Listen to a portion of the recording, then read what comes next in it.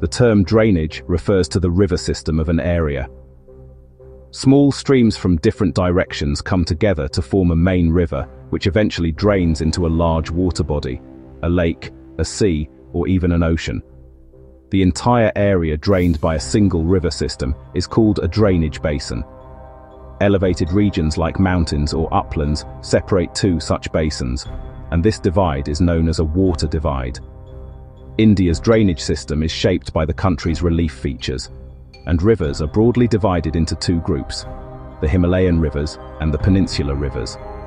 The Himalayan rivers are perennial, fed both by rainfall and melting snow from the high mountains. With long courses from their sources to the sea, they cut through the mountains to form deep gorges. Along their journey, they erode in the upper courses and deposit in the lower plains. This results in features such as meanders, oxbow lakes, and vast fertile deltas. Two of the most significant rivers here are the Indus and the Brahmaputra.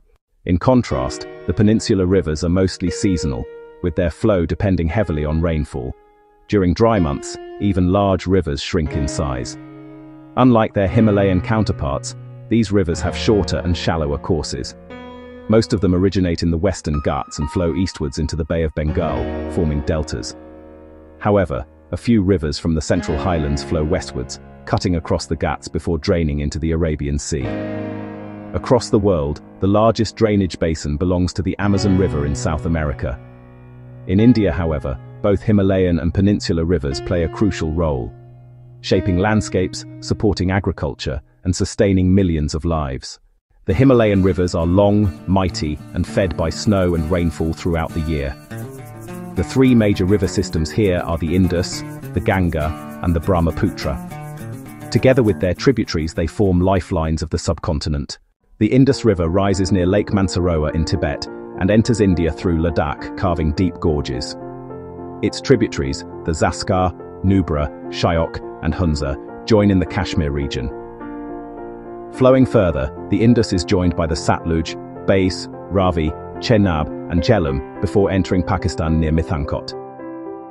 With a total length of 2,900 kilometers, the Indus is among the world's longest rivers.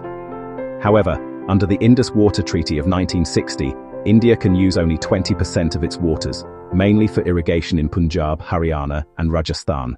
The Ganga river system begins at the Gangotri Glacier, where the Bhagirathi meets the Alaknanda at Devaprayag. At Haridwar, it descends into the plains. The Ganga is joined by several Himalayan tributaries, including the Yamuna, Ghaghara, Gandak, and Kosi.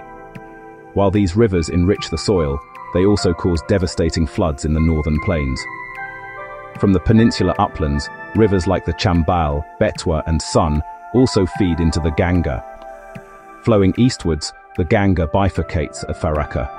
One distributary, the Hooghly, flows south into the Bay of Bengal, while the main channel merges with the Brahmaputra in Bangladesh to form the Meghna. Together, they create the Sundarban Delta, the world's largest and fastest growing delta, home to the Royal Bengal tiger. The Brahmaputra River also begins near Mansarovar in Tibet, where it is called the Tsang Po. Flowing east parallel to the Himalayas, it takes a dramatic U-turn at Namcha Barwa and enters Arunachal Pradesh as the Dihang. Joined by the Dibang and Lohit, it becomes the Brahmaputra in Assam. Here, heavy rainfall swells the river with water and silt, giving it a braided channel and creating vast riverine islands like Majuli, the world's largest. However, this also leads to devastating floods each year as the river shifts its course. From the arid lands of Ladakh to the fertile delta of Bengal, the Himalayan rivers have shaped India's geography, culture and economy. Their power to erode, deposit and nourish makes them not just rivers, but true lifelines of civilization. Unlike the perennial Himalayan rivers, the peninsular rivers are largely rain-fed, with shorter and shallower courses. The western Ghats form the main water divide here. Most rivers, like the Mahanadi, Godavari, Krishna and Kaveri flow eastwards into the Bay of Bengal, forming deltas. Only a few, like the Narmada and Tapi, flow westwards, making estuaries. The Narmada River rises from the Amarkantak Hills in Madhya Pradesh, flowing westward in a rift valley. Along the way, it creates stunning landscapes like the marble rocks of Jabalpur and the spectacular Dhuadhar Falls. Covering parts of Madhya Pradesh and Gujarat, it is celebrated in the conservation project Namami Devi Narmade. Parallel to the Narmada flows the Tapi River, originating in the Satpura ranges. Shorter in length, it drains parts of Madhya Pradesh, Maharashtra, and Gujarat. Along the narrow western coastal plains, smaller rivers like the Sabarmati, Mahi, Bharathapuzha and Periyar also flow into the Arabian Sea. The Godavari, often called the Dakshin Ganga, is the largest peninsular river.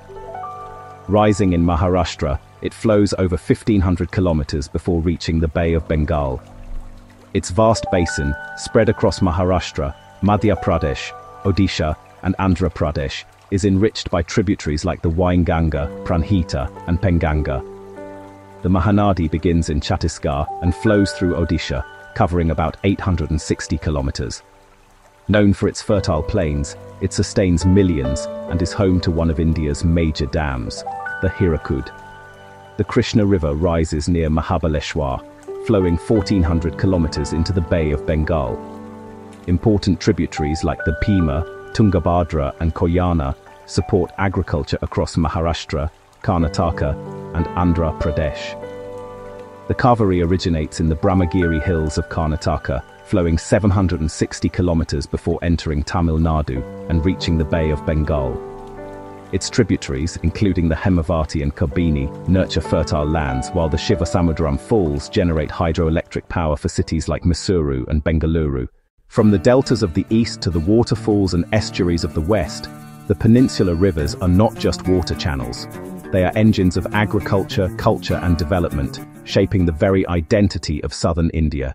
Have you ever imagined Srinagar without the beautiful Dal Lake, or Nainital without its sparkling waters?